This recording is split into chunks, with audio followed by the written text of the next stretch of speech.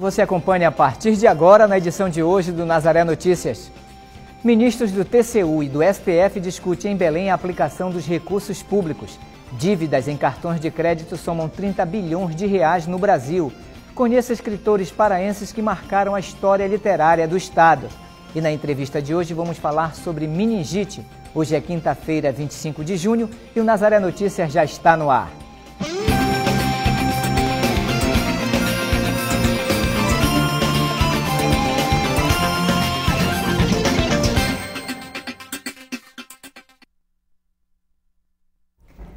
A aplicação dos recursos públicos é a discussão principal do Fórum do Tribunal de Contas do Pará, que acontece até amanhã no hangar, aqui em Belém. O ministro Augusto Nardes, do TCU, e Gilmar Mendes, do Supremo Tribunal Federal, participam do encontro. É o que você vai ver na primeira reportagem do Nazaré Notícias de hoje. A solenidade de abertura contou com a participação de autoridades do Brasil e do Estado do Pará. O Fórum do Tribunal de Contas do Pará reúne juristas, advogados, contadores, conselheiros e cidadãos interessados em saber sobre as contas públicas. A importância desse fórum é enorme para o gestor público, porque principalmente pelo tratamento do assunto transparência. Hoje em dia a sociedade cobra, e é direito dela cobrar transparência nas contas públicas. E tudo que se falar aqui em transparência será muito bem aceita pela classe contábil e pela classe de gestores, porque esse fórum auxilia a participação de contadores da área pública, dos gestores administrativos municipais, até estaduais, a transformarem, como foi dito agora no evento de abertura, a dignificarem a sua posição como gestor público. O fórum discute o papel dos tribunais de contas no controle da aplicação dos recursos públicos. O principal convidado é o ministro Augusto Nardes, do Tribunal de Contas da União. Na palestra magna, ele falou sobre o tema do evento. Qual é o Brasil que nós queremos? Esta é a grande questão da nação. Um Brasil que seja forte, um Brasil que possa trazer a esperança, e quando se perde a esperança, se perde a fé, a crença, e a nação fica sem um horizonte maior. Qual é o Brasil que nós queremos?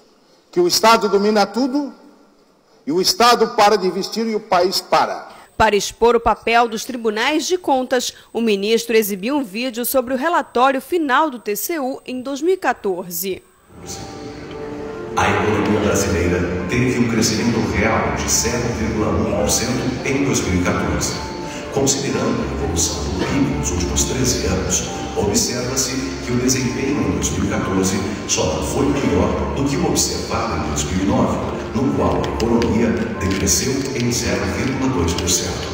Com a situação crescente, vou mostrar agora para os senhores o total da nossa riqueza no ano passado. 5,5 trilhões a nossa riqueza nacional.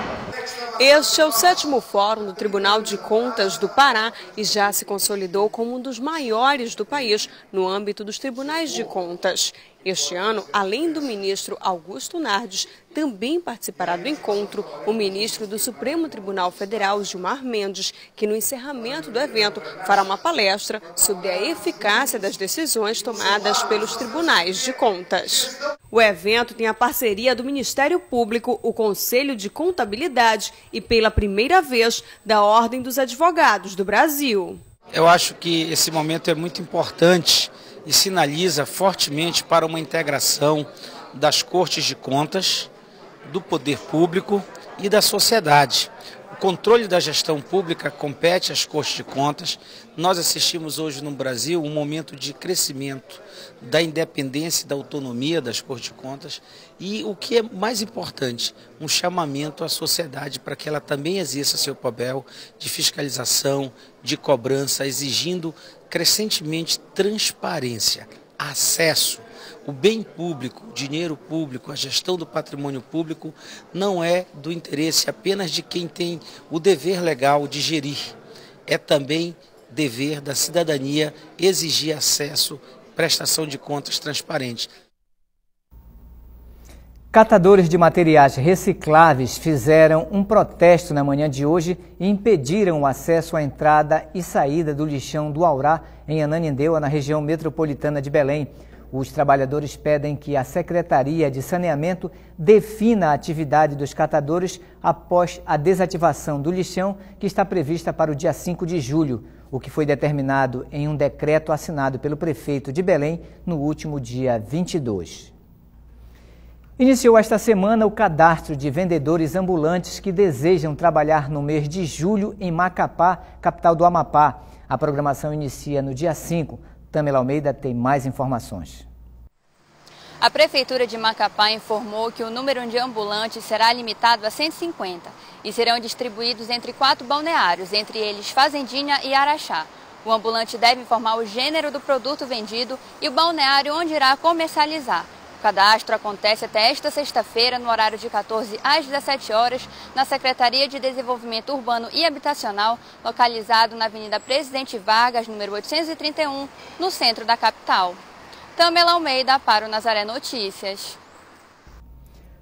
O projeto de lei da Câmara Municipal de Belém, que propõe a diminuição salarial dos parlamentares, foi rejeitado pelos vereadores nesta quarta-feira em votação na Câmara. A redução salarial seria de 15 mil reais para R$ 6.300. Na votação, apenas o vereador que propôs o plano foi a favor, o parlamentar Kleber Rabelo, do Partido Socialista dos Trabalhadores Unificado, o PSTU.